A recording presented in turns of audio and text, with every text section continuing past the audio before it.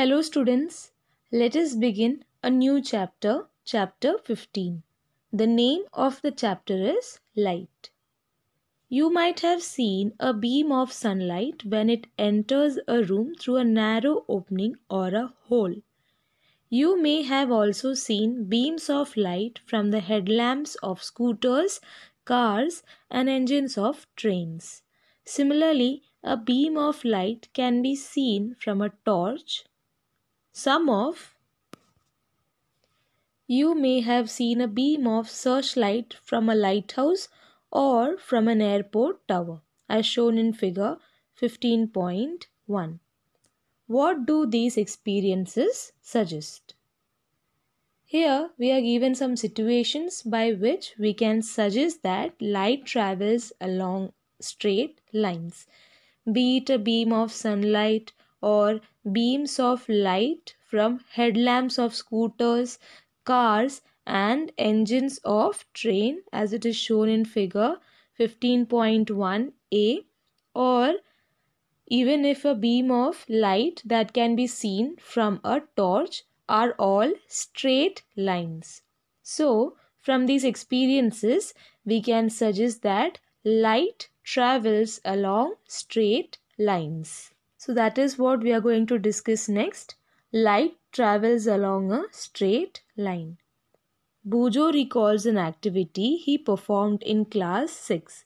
In that activity, he looked at a lighted candle first through a straight pipe and then through a bent pipe.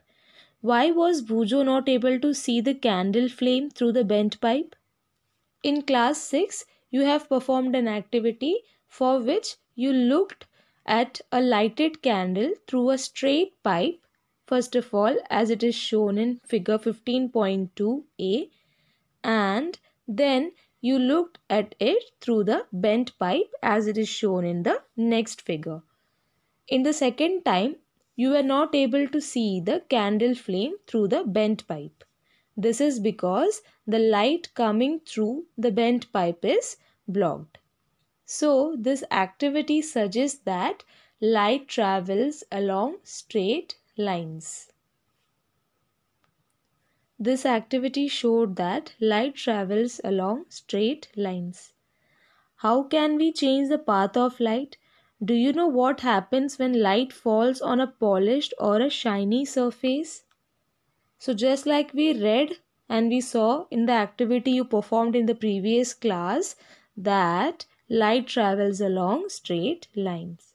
Here we are asked that how can we change the path of light? And also we are asked that what happens when light falls on a polished or a shiny surface.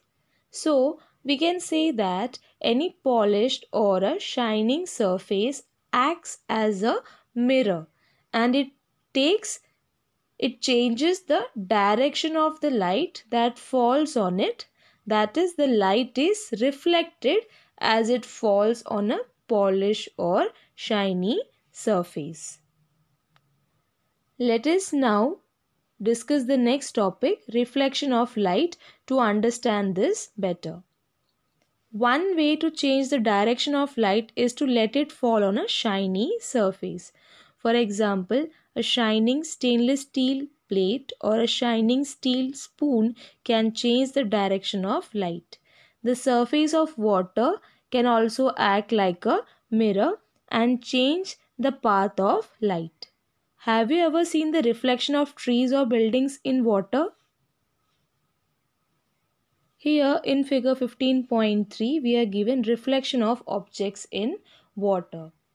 So, just like we discussed, there is a way to change the direction of light that is the path of light by making it fall on a shiny surface. Stainless steel plate or a shining stainless steel spoon can change the direction of light. In the similar manner, reflection can be seen on the surface of water.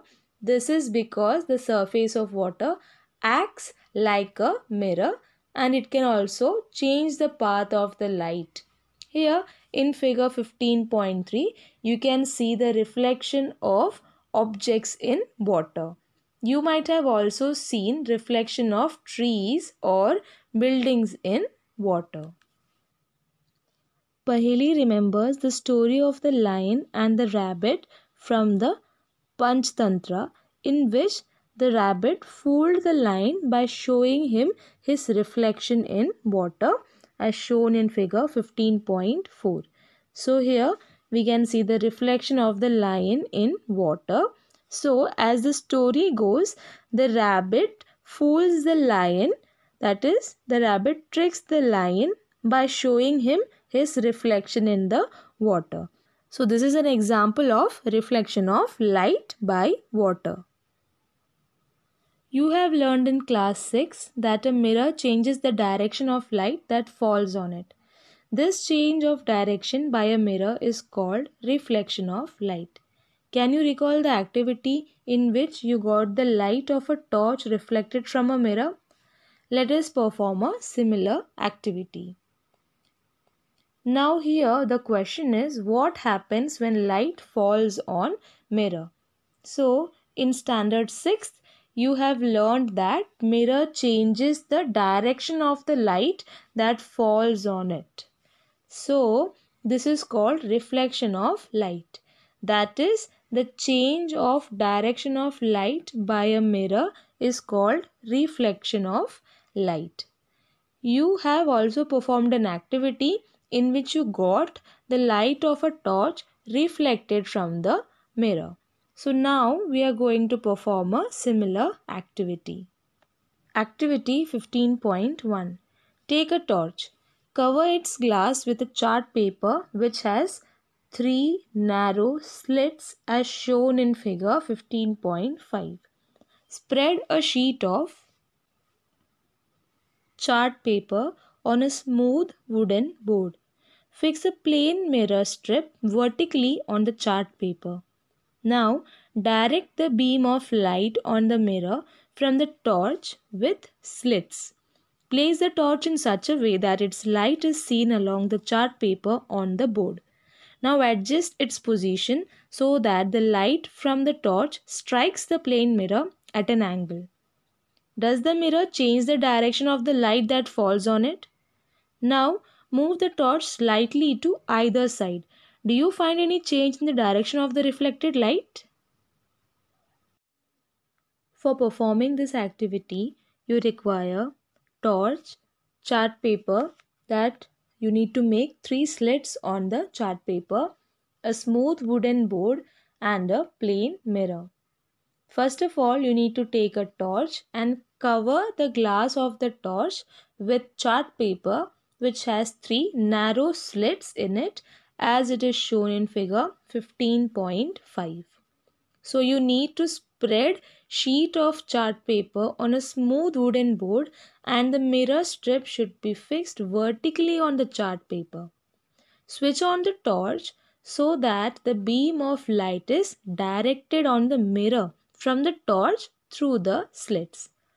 Note that the torch should be placed in such a way that the light that is coming from the torch is seen along the chart paper on the board. The similar manner as it is shown in figure.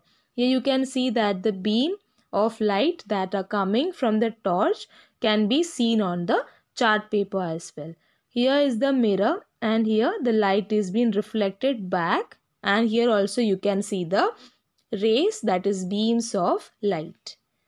Next, the position of the torch should be adjusted in such a way that the light that comes from the torch strikes the plane mirror at the angle.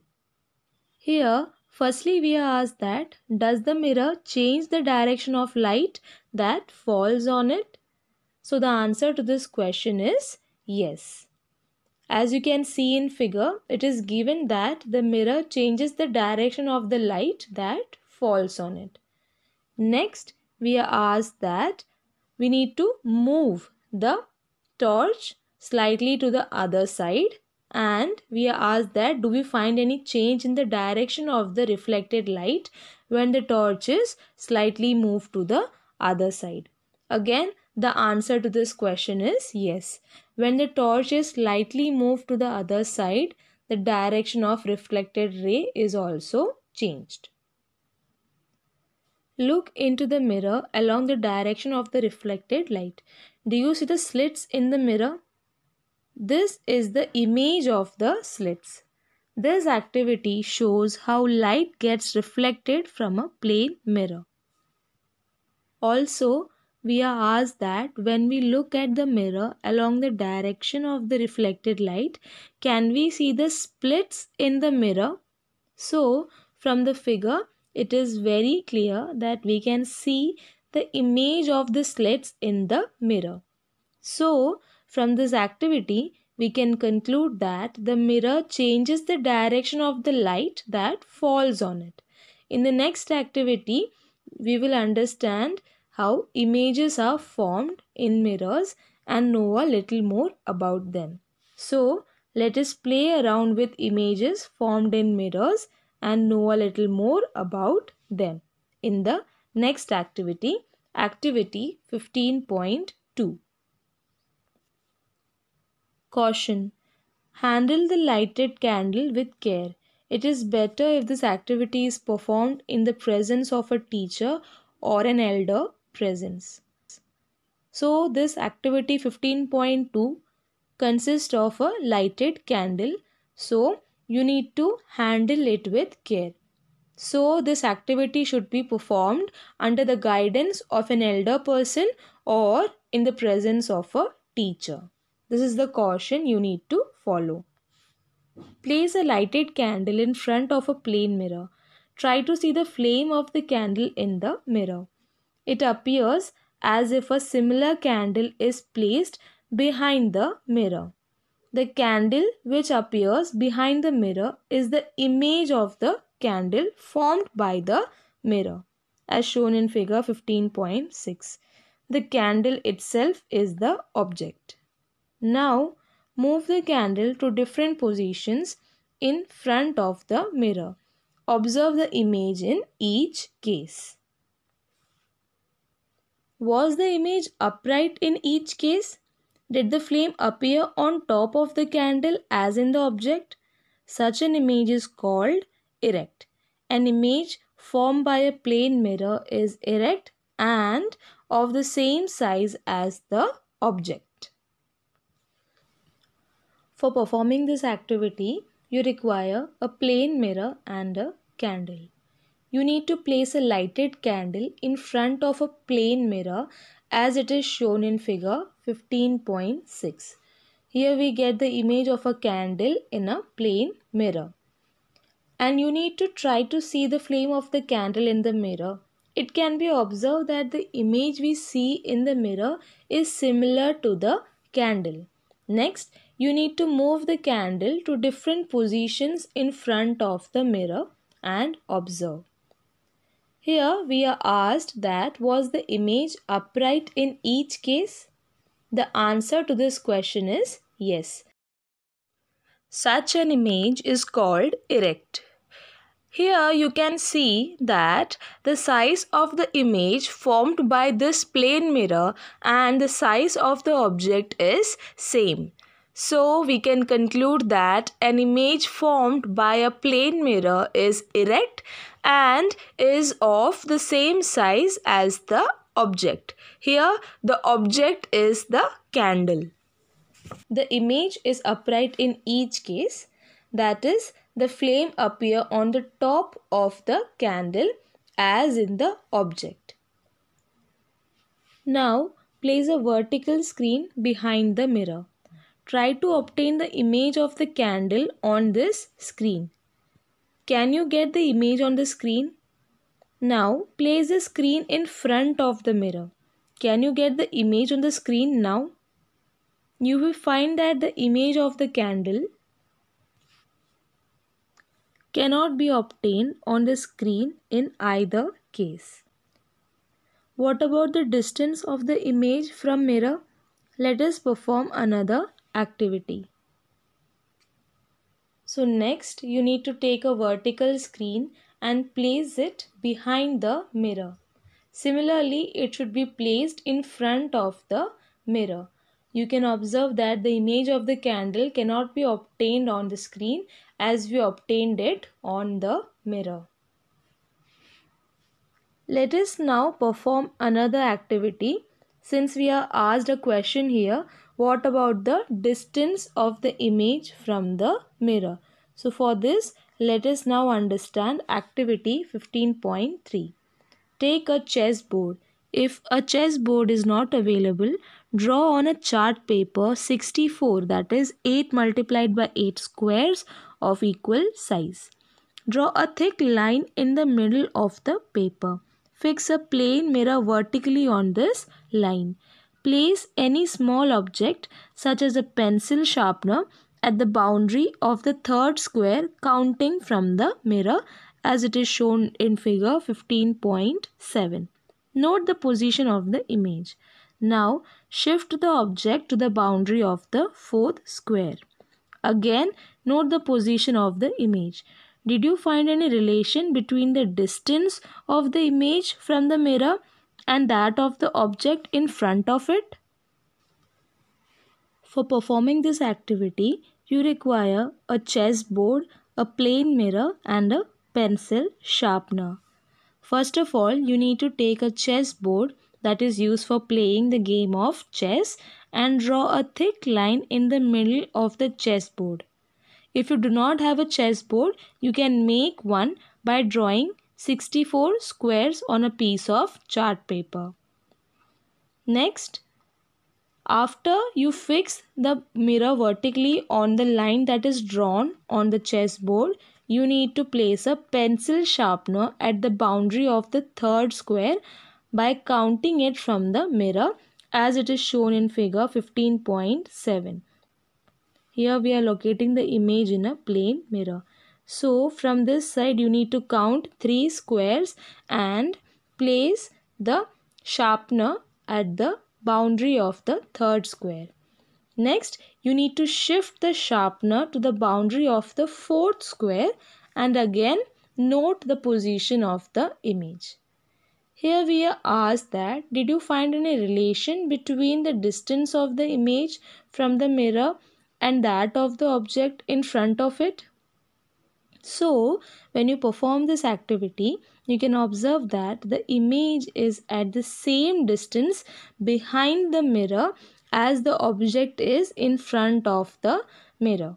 You can verify this by placing the object anywhere on the chart paper or on the chessboard. So, from this activity, we can conclude that the image formed by the plane mirror is at the same distance behind the mirror as the image is in front of the mirror. You will find that the image is at the same distance behind the mirror as the object is in front of the mirror. Now verify this by placing the object anywhere on the chart paper. So just like we read here we are given that the image is at the same distance behind the mirror in comparison with the object जितना distance वो object mirror के front में है, उतना ही वो image का distance है at the behind the mirror you can also verify this by placing the object that is the pencil sharpener anywhere on the chart paper यानी कि आप कहाँ, कहीं पर भी इसको प्लेस करके ये वेरीफाई कर सकते हो।